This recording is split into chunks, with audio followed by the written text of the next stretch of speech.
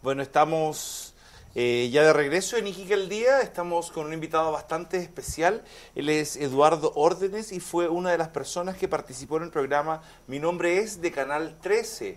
Él participó eh, imitando a la gran Amy Winehouse, esta cantante que murió de sobredosis recién al sacar el segundo disco estaba en la cúspide de su carrera. Eh, ¿Cómo estás, Eduardo?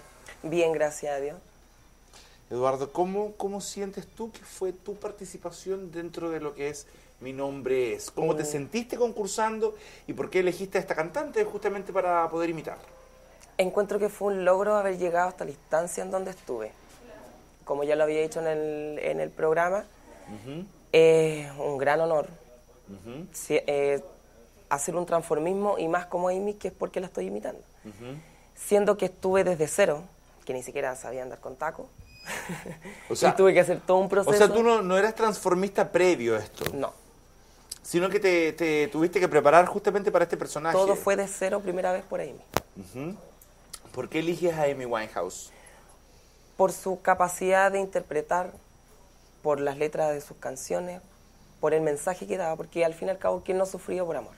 Todo, Y las canciones de Amy hablan de eso. generalmente.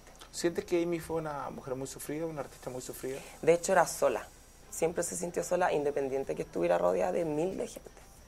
Sí. Sí. Ahora, eh, cuando llegas a la conclusión que Amy te gusta, que te identificabas con la letra de las canciones que ella interpretaba, ¿cómo comienzas a darte cuenta que tú tienes el talento para poder imitar? Porque una cosa es que te guste y otra cosa Claro. es que realmente puedas. ¿Cómo, cómo, cómo llegas a, a la conclusión que sí te sale? De- Que sí puedes pararte frente a una cámara y decir, yo soy Amy Winehouse. De hecho, fue hace dos años, pero solamente en mi casa.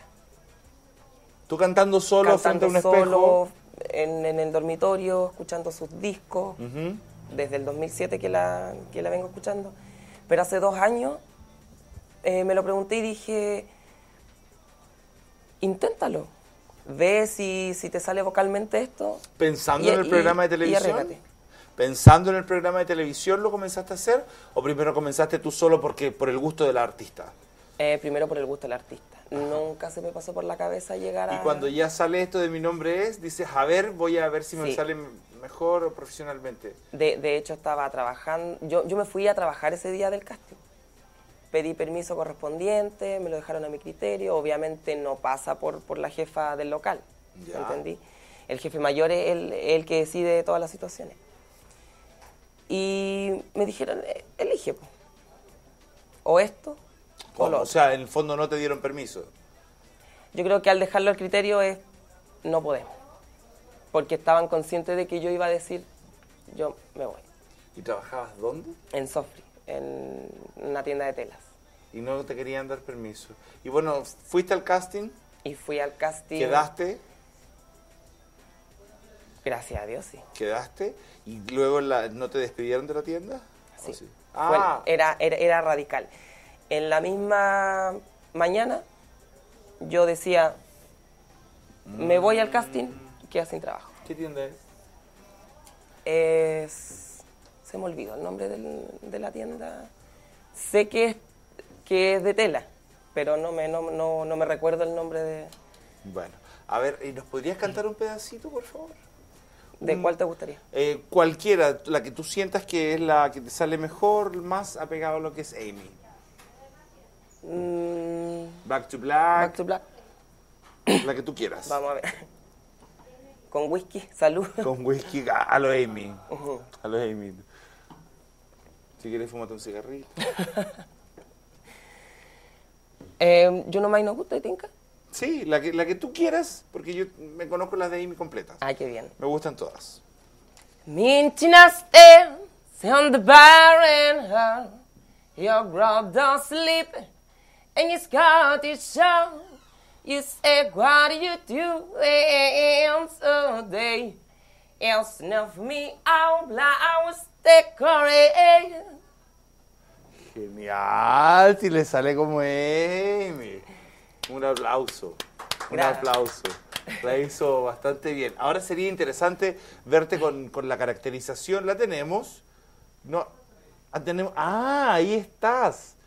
Oye, ¿y ahora podría ir cantando cualquiera para ir viendo las fotos?